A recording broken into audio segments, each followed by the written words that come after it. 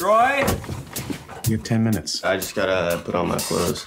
You have like the body of a man now. Hey, Dad, can you not be weird? Okay. Can you close my door? Yeah. Can you close the door? Yeah. You're going off to find your college. It's not this special. We're fully booked tonight. How about that one? It's not available. Oh, looks like it's available. Yeah, it's not. That night, my mind drifted back to college. So many friends have become successful. Craig Fisher worked for the White House. Jason Hatfield had his own hedge fund. Billy Wursler sold his tech company at 40. What do I have?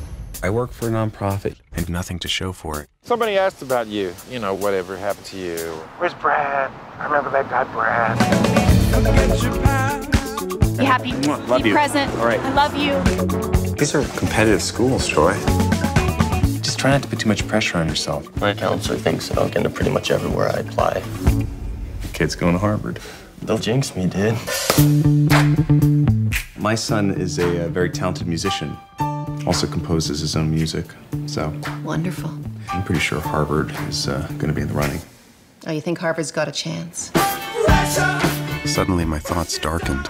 Troy could easily end up struggling like me. This is Harvard. Even geniuses get rejected. We need to do everything we can. Dad, I'm about to go have my interview. Do you really need to be jumping all over me right now?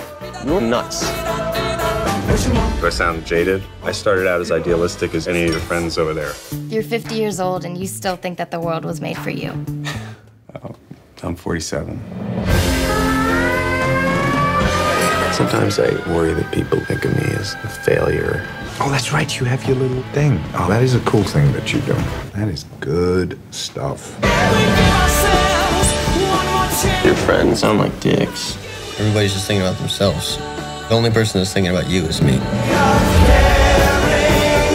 Isn't it crazy how we made this kid and now he's this brilliant, amazing person? I'm proud of you. Dad, you having some kind of nervous breakdown or something? Under pressure.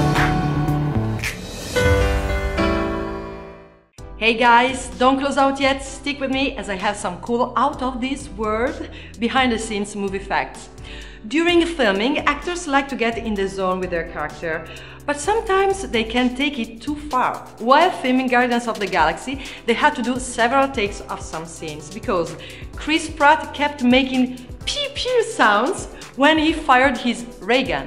It also seems that Ewan McGregor had the same problem while filming Star Wars Episode 1 The Phantom Menace.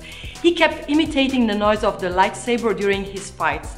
George Lucas explained many times that this will be added in by the special effects people later on. Pew, pew, pew, pew. Oh, oh, sorry, oh, sorry, yeah, you, you are going to add that later. Yeah, sorry, sorry. Okay, so if you haven't already done it, subscribe and click the notification bell to keep up to date on all the latest trailer releases. Bye!